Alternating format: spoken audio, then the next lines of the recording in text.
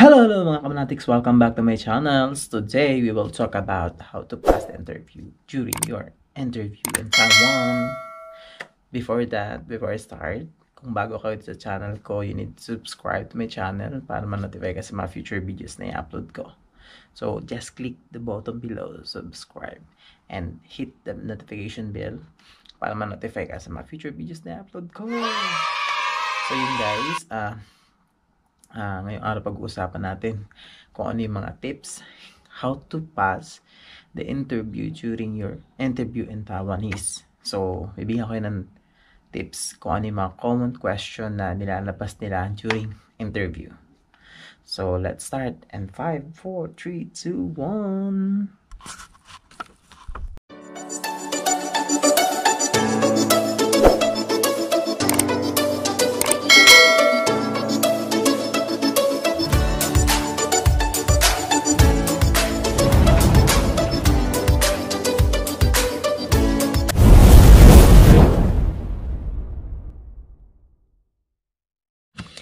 Mga kamnatics! Welcome back to my channel. Kung bago ka sa channel ko, so please subscribe to my channel para ma-notify ka at ma-notify ka sa mga future videos na i-upload ko. So ngayong araw, may isa nag-request sa akin kung ano daw mga common uh, questions sa interview. Disclaimer guys, uh, itong gagawin ko interview is for factory worker. I am currently work as engineer dito, as equipment engineer. So uh, gagawa ko ng ibang video about sa mga gustong engineer din na mapunta dito. Pero today, we will make uh, focus on factory worker sa Taiwan. So, ano yung mga common question na binibigay ni employer sa kanyang mga applicants during interview? So, before I start guys, uh, may mga tips lang akong bibigay sa inyo dapat hindi nyo gagawin para hindi kayo mahirapan sa interview. So, una, kung ang ang interview mo ay 10 10 a.m. So don't be late. I think nasa before before 10 2 hours before your interview dapat andun ka na. Bakit? Kasi hindi lang naman ikaw ang tinawagan. Hindi lang ikaw naka naka-line up. So kailangan mong maging um, ready or prepare. Kaya dapat maga ka doon. Hindi mo hindi mo expect yung traffic, hindi mo expected yung uh, location kung uh, may travel time ba ganung oras. So you need to expect spend but spend more time para makapunta ka dun sa sa lugar na yun. So yan ang tip ko number one, don't be late during your interview. And next, during interview, you need to be eye-to-eye -eye contact. Hmm, eye-to-eye -eye contact. Bakit? Kasi dyan na nalalaman yung sincerity mo, yung honesty, honesty ng isang tao. Kung nagsasabi siya ng totoo kung nakatitig siya. Kasi yung mga tao pag ganun ganun hindi siya nakatingin. Medyo hindi siya focus to what he say kung totoo ba o hindi. Whether totoo o hindi isang way nila yon para ma-distinguish nila yung tao nagsasabi ng totoo. Kasi ang mga Taiwanese Taiwanese guys first impression last ibig sabihin kung una nakita nila hindi ka na gusto kahit bumalinto ka ba tumambling at kahit anong gawin mo pa dyan ayaw ka nila ayaw talaga nila So, yun guys. Kaya before, kailangan mo na maging ready, prepare yourself. And, most important, be confident of what you are. Kasi, ikaw yung haharap dun eh. Ikaw din yung makikipag-usap. So, kailangan lahat na sabihin mo totoo. Kasi, meron silang copy of your resume mo. May copy sila ng biodata mo. Kaya, kung ano yun nandun, dapat yun lang din nasasabihin mo. Do not exceed other extracurricular. Kung pwede, kung meron hindi nakalagay doon, you can add. But it is brief lang para hindi naman mag humaba. And then, avoid mannerism. Yung mannerism na galaw ka ng galaw, tapos ah uh, uh, parang hindi parang nabubulol ka or you're, you're nervous. Well, especially kailangan lahat naman tayo kinakabahan during interview pero dapat uh, be relaxed yourself. Para ka lang ipag-usap sa salamin. parang baliw lang. Hindi, joke lang guys. Yon And then, dapat ang mga sagot mo guys, pre precise and concise. Brief and exact. Pag sinabi kasing brief and exact, yung short lang na, na idea about yourself, short uh, answer, pero andun yung kabuuan. Huwag na mag uh, storytelling kasi hindi yun siya uh, hindi siya na-attract yung mga employer doon. So, let's start for the number one top common question during interview. So, let's start. Ito, sa, ito na yung, ano eh, gasgas na gasgas na to. Even the Philippines, ginagamit naman to during interview kasi I have many, many, many things na during my interview, ito lagi narinig ko. So, gasgas na siya. Pero, yung iba kasi hindi rin alam kung paano sumagot the right way how to, to answer this question. So, number one, introduce yourself pag sinabi guys, introduce yourself ng inyong employer, meron man doon guys, ano, meron man doon guys na interpreter. So, dapat, uh, hindi naman sinabing fluent kasi English, pero dapat you need to speak English kasi Tagalog. Even nakakaintindi yung interpreter, kaya interpret yun, mas maganda na ikaw mag english Kasi, okay lang naman kahit hindi ka fluent sa English eh, kasi hindi naman sila fluent. Yung mga Taiwanese hindi sila fluent sa English. Uh, English din na para sa atin barok-barok. Hindi, joke lang. So, yun, pag sinabing introduce yourself, huwag ka na magkwento ng buhay mo. Huwag mo nang kwento kung anong plan mo sa buhay. Huwag mo na ikwento kung ilan ang nangyari sa buhay mo. Basta do, do not uh, make a storytelling in your life. Just tell tell, ang gusto lang kasing ma-emphasize, pag tinanong kasi na introduce yourself, ang gusto lang malaman sa employer mo, what is your experience? What is your edge to the other applicants? And what are you para ma-hire ka? Like for example, I give you some example if I uh, answer that question. So, introduce yourself. So, my name is my name is Manuel Barredo, age of 25. I graduated to uh, taking batch of uh, industrial engineering and graduated to QCP QCP Quezon City. And uh, I have an experience in manufacturing as a process engineer. So, yun yung para sa akin. Short but brief. So, kung gusto kung wala naman kayong ano, kung wala naman sa mga first time, may wala kayong experience, you need to add some some uh, extra extra idea para ma magkaroon ng interest sa yung employer mo. Like for example, I am a hardworking person and then uh, I can manage under pressure. So yung mga ganun guys, you need to add some uh, good sa sarili mo. So, yan. Kaya wag mo lang, eh, wag ka na magkwento ng iyong buhay. You need to tell a uh, short but uh, concise idea to yourself. Yun lang.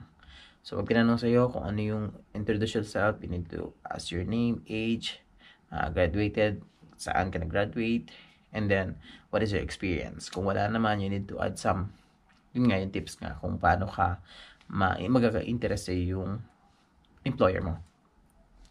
Then, tips number two, or question number two, why do you choose Taiwan? So, most of most question to guys, kasi tinatanong ng mga employer talaga, bakit sa bansa nila ka gustong mag-apply? So, alam naman natin na one of the one of the largest economy in Asia, it comes to manufacturing. So, pag sinabi kasi manufacturing, it comes to from China and Taiwan. So, the biggest uh, producer of manufacturing industry ay nasa Taiwan. So, yun yung sasabihin mo. And, it has a highest level of safety. Which is totoo naman, guys. Kasi na-experience ko na rin as a uh, employee na dito sa Taiwan. So, yun. Based on experience mo, yun yung kailangan mong sabihin na bakit gusto mo pumunta sa kanila. Sabihin mo lang, magandang trabaho doon. It's, it's a nice people. Then nice, nice economy. And then nice environment. Pwede mong i-add yun. Pero most of especially, kailangan mo rin kasing uh, i-add some tips o uh, some idea dun sa, sa gusto mo mangyari kapag gusto mo pumunta ng Taiwan. So, yun Huwag ka lang masyadong, ano guys ah, huwag ka masyadong exaggerate na, ah, kasi maganda naman, kaya ganyan-ganyan. Huwag ganun. You need to tell what you, what are your plan, bakit gusto mo talaga dun sa bansang yan. And then, number two, what do you know about the company? So, ito ang pinaka, pinaka, pinaka highest points na gusto nila. What, uh, what do you know the company? Kasi tinatanong nila guys, ano ba ang alam mo sa company namin? Mamaya sabihin mo, ah, I know this company produce uh, wood crafts or, or other hand materials na ginagamit sa metals or um, something. Electronics pala sila. So, you need to make an research sa company na gusto mong pasukan. Kung electronics yan, you need to research of this uh, uh, company background, history, kung hindi naman history, ano yung mga ginagawa nila. So, para pag tinanong ka, alam mo kung ano yung product nila. Hindi ka parang aang-ang ano, hindi mo talaga alam. Nag-apply ka, pero hindi mo alam kung ano magiging trabaho mo on that place. Kaya dapat, you need to make uh, some research about sa company uh, plan mo. So, yeah, that's what's the tips. And number four, uh, how do you handle the pressure in workplace? So, to most common question na rin to guys, even sa Philippines, ginagamit din to. So, um, ito yung mga tanong kung tinit tinitest kasi nila kung paano ka mag-handle ng mga bagay o conflict uh, bagay na na example may nangyaring um, sa company. So paano mo to i-handle? So well it to answer it's to time management.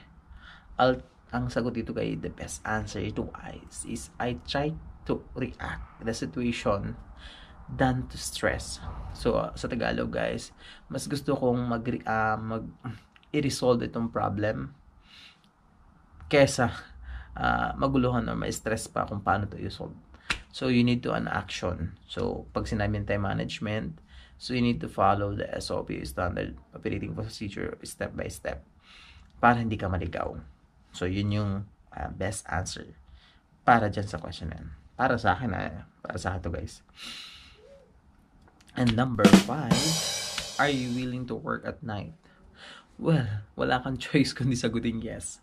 Kasi, um, for me ah, even there's something good and bad uh, uh, disadvantage ang ang panggabi may good and disadvantage man siya good and dis uh, disadvantage na din siya so yung advantage niya guys syempre mas mataas yung rate unlike this uh, day shift ang disadvantage naman hindi siya yung hindi kasi sanay yung body natin na ma-regular na matulog kasi masanay yung body natin matulog ng gabi talaga so yun yung nakikita ko lang ano ah yun lang nakita kong difference ng dalawa. And, kung tinanong ka, willing ka mag-work, yes. Kasi, pumunta ka nga doon para magtrabaho, para matulungan mo ang family mo. Kaya you have no choice kundi mag-work. so, yun. And number six. Number six ay, are you willing to render overtime? So, ang sagot dyan, yes na yes. Alam mo kung bakit? Ang laki ng difference between your uh, ah, OT. Kasi dito halos lahat ng mga factory worker dito ay bumabawi lang sa overtime. So, pag marami silang overtime, especially day, pagka, ano nila, day off, tapos pinapasok sila, that was a double pay ginagawa sa kanilang company. So, mataas din naman yung uh, rate nila dito for that. So, kung sinabi sa'yo gusto mag overtime. Oo, kakagad kasi yun yung mas maganda dito pag maraming overtime. Ito yung mga hinahanap talaga ng mga factory worker dito yung overtime.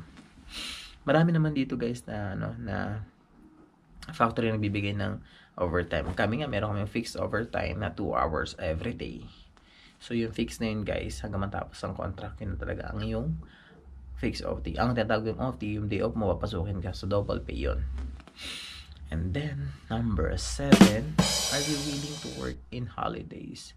So, kung merong double pay, so meron tinatawag na holidays pay, or meron tinatawag na, uh, mas mataas siya guys eh, pag holidays tuma- pumasok ka. Sa ibang company, mas malaki yung difference niya. Hindi siya double pay, mas malaki pa siya. So, kung tinanong ka ng ganun, sagot mo lang talaga is definitely, definitely malaking malaking yes. So, yun yung uh, common question na binibigay nila. Ah, and then add ko rin pala sa'yo. Number, number 8 guys, is yung uh, sino yung may iwan doon sa, kung may family ka ba, tinatanong kasi na may, uh, I think may natanong isang ganun, isang ganung tanong, may family ka ba? Pag tinanong, pag sinagot mong yes, may anak ka ba? Oo, sino may iwan? Kasi gusto nila naman guys kung uh, sino may iwan sa family, kung may mag-aalaga, maalaga ba? Kasi kung sakaling wala, uh, parang isipin na, oh, wala mag-aalaga sa anak nito, ba't ko ba payagan ito umalis? Parang ganon. So, you need to, uh, kung may asawa ka naman, may anak, pero kung single ka, hindi mo na kailangan ito number 8 na to. Yun guys, ang uh, bibigay ko lang tips sa inyo during, during question and answer. So, my next videos, tuturuan ko naman kayo sa exam before interview exam. So, sa exam guys, ang lumalabas dun is yung MDAS, problem solving, logic, abstract, and basic math. So, next video, medyo mahaba siya kasi tuturuan ko siya step by step kung ano yung kung paano ma madali maintindihan ang MDAS, paano madaling ma-solve ang problem solving, and then paano malaman ang logic and abstract reasoning and basic math. I will make uh, some videos para dyan. So, today's videos, ito lang yung mga common, common na tanong sa inyo. So, yun lang guys. So, salamat sa mga nan nanonood dito. Disclaimer guys, I'm not factory worker here. Kaya hindi ko na-experience that uh, other question. Pero itong ibang question na natanong din sa akin to, the same lang naman. Eh. Ang, ang pinagkaiba lang naman is yung exam ng engineer tsaka ng factory worker. Halos magka, ano, magkaiba na naman. So yun guys, salamat sa mga nanonood. Salamat sa mga subscribers ko na naniniwala ako anong uh, ginagawa ko dito. Ito guys, ginagawa ko para makatulong po sa inyo. So, kung bago ka dito sa channel ko, please subscribe to my channel para ma-notify ka sa aking mga future videos na i-upload. Mm. Then, yun lang guys. Salamat sa panonood. Thank you and bye-bye!